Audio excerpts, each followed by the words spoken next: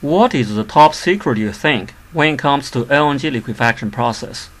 There are different technologies such as C3MR by Air Products, cascade process by ConocoPhillips, single mixed refrigerant by Black Veatch, and a dual mixed refrigerant by Shell. For each process, there are secrets for the optimal refrigerant flow, pressure, and temperature. However, the top secret among all the secrets is the mixed refrigerant compositions. In general, process engineers spend days and nights to optimize the compositions, yet the solution might not be found. In this video, the top secret is unveiled to teach you how you can optimize the mixed refrigerant compositions in a matter of minutes instead of days. To illustrate my point, let's take a closer look at the single mixed refrigerant process, which is patented by Black Veatch as PRICO. Just like all the other LNG liquefaction process, natural gas is first sent into the heat exchanger, in which it is liquefied into LNG. The compressed mixed refrigerant is also introduced to the heat exchanger, in which it is cooled down to about negative 248 Fahrenheit, and then it, it, it is expanded to about 45 psia through the JT valve. The cold is recovered in the heat exchanger, and then the gas is further compressed in a two stages compressor and then finally feed back into the main heat exchanger. Thus, it forms a closed mixed refrigeration loop.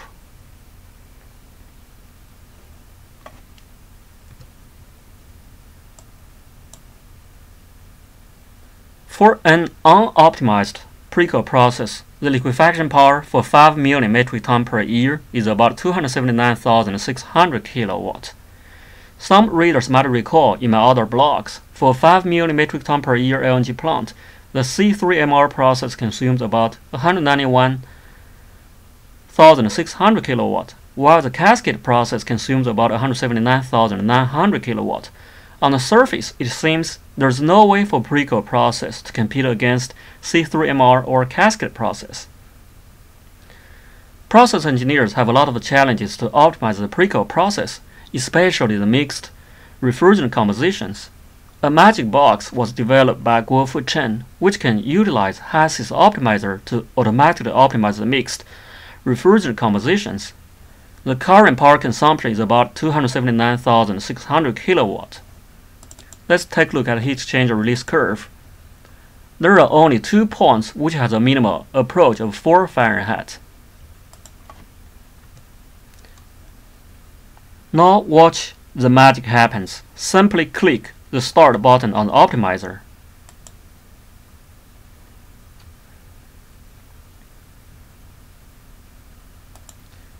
The power consumption is reduced to 209,500 kilowatt, which is more than 20% power reduction. Now let's take a closer look at the heat exchanger release curve. As you can see, there are about 4 points that has a minimum approach temperature of 4 Fahrenheit. Instead, before there was there was only 2.